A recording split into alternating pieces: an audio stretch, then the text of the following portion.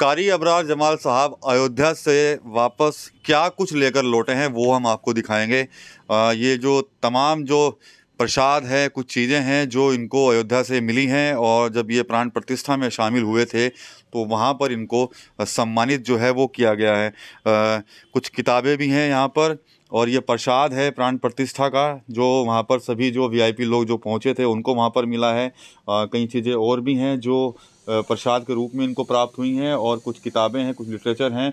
पूरा एक ये पैकेट था जो वहाँ पर आने वाले हर वीआईपी को मिला है और 22 तारीख को जो कारी साहब जब वहाँ पर गए थे अबरार जमाल साहब तब इनको ये सब चीज़ें प्राण प्रतिष्ठा से वहाँ पर मिली हैं। अच्छा कितना खुशी मिल रही है आपको इन सब चीज़ों को देख कर अपने पास? देखिए सब मेरे लिए किसी अवार्ड से कम नहीं है। अच्छा। ज़ाहिर है इतनी बड़ी आबादी में हमें निमंत्रण मिलना ही हमारे लिए बड़ी बात है और मैं शुक्रिया अदा करूँगा ट्रस्ट के तमाम लोगों का तमाम सनातनियों का कि उन लोगों ने एक एक विशेष कार्यक्रम को सालों बाद जो एक कार्यक्रम हुआ प्राण प्रतिष्ठा का इसको भी सिर्फ़ इसलिए अकेले नहीं मनाया ताकि कहीं ना कहीं गंगा जमुना तहजीब पर धब्बा ना लग जाए। इसको भी अके मिलजुल करके बनाया है मिला बना मनाया है। जहाँ एक तरफ़ तमाम साधु संतों को बुलाया गया वहाँ कारी अबरार जमाल को भी बुला करके सम्मानित किया गया इज़्ज़त बख्शी तमाम चीज़ें भेंट की गई। ये मेरे लिए वाकई एक बड़ी बात है। क्या क्या है? कुछ दिखाएँगे अपने हाथ से उठाकर क्या क्या चीज़ें हैं यहाँ पर? यह देखिए ये अंगूठी है सोने की और ये गंगा जल है या शायद गुलाब जा क्या है? कुछ लिक्विड है कोई बात हाँ और ये प्रसाद है। जी। और ये खाने का कुछ सामान है इसमें। और इसमें भी कुछ बेहतरीन चीज़ है। और ये ये क्या है शायद? ये दीप है शायद।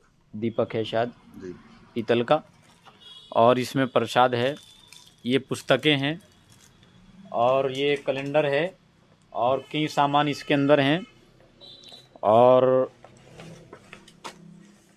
हम्म, और पुस्तकें हैं। और एक कई सारी चीज़ें हैं। बहुत सारी चीज़ें मिली हैं। तो आनंद आ रहा है आपको? जी बिल्कुल ज़ाहिर सी बात है ये हिंदुस्तान की खूबसूरती है कि कोई भी कार्यक्रम यहाँ अकेले नहीं किया जाता। यहाँ तमाम लोगों को साधु संतों के साथ में जो है एक मुस्लिम स्कॉलर को भी बुलाया जाता है। और ये उन लोगों के ऊपर मुँह के ऊपर तमाचा है जो लोग ये बात कहते हैं कि जब तमाम हिंदू इकट्ठे हो जाते हैं तो उस बीच में एक मुसलमान को जय श्री राम कहना पड़ता है। वहाँ इसका बिल्कुल उलट देखने को मिला। न्योता मिलने के बाद मेरे पास बहुत सारे फ़ोन आए कि कारी साहब, आपको नहीं जाना वहाँ। आपको वहाँ बेइज्जत किया जाएगा, आपके माथे पर तिलक लगाया जाएगा, आपको ज़बरदस्ती जय श्री राम कहना पड़ेगा, आपको मंदिर जाना पड़ेगा। लेकिन मुझे वहाँ कुछ ऐसा महसूस नहीं हुआ। वहाँ तमाम लोगों ने मुझे इज़्ज़त बख्शी, किसी ने माथे पर तिलक नहीं लगाया, किसी ने जय श्री राम कहने के लिए मजबूर नहीं किया। तमाम लोगों ने इज़्ज़त दी। मैं तमाम लोगों का शुक्रिया अदा करता हूँ। अच्छा जो ये चित्र मिले हैं वहाँ से आपको प्रतिमाएँ मिली हैं तो इनका आप क्या करेंगे? सजाएँगे अपने घर दफ्तर में या क्या किया जाएगा इनका? रखी जाएँगी। मैं जगह जगह इसको भेंट करूँगा जहाँ जहाँ मुझे लगेगा जो मेरे शुभ चिंतक हैं मेरे अज़ीज़ हैं मेरे मुकर्रब लोग हैं मेरे मुतलकिन हैं तमाम लोगों को दूँगा।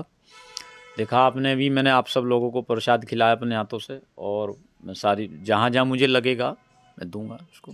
तो कारी अमराज जमाल साहब काफ़ी खुश हैं, प्रसाद इनको वहाँ पर मिला है कई चीज़ें जो हैं, वो जो वहाँ पर भेंट की गई थी, जो लोग दर्शन के लिए आए थे वीआईपी लोगों को जो जो सामान दिया गया, वो सब चीज़ें जो हैं, कारी अबरार जमाल साहब को भी मिली हैं, जिसको पाकर वो काफ़ी खुश हैं। टी वी नाइन यूपी के लिए सहारनपुर से विकास कपिल